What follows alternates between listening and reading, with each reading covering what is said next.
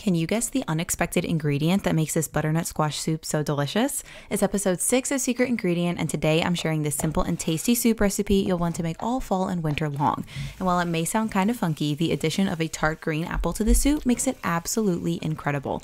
It adds the perfect amount of acid to complement the sweetness from the butternut squash, savory herbs, and creaminess of the coconut milk. Simply combine everything in a pot, simmer until the squash is fork tender, then blend and serve warm. Get all the details on From My Bowl and follow From My Bowl for more simple and seasonal plant based eats.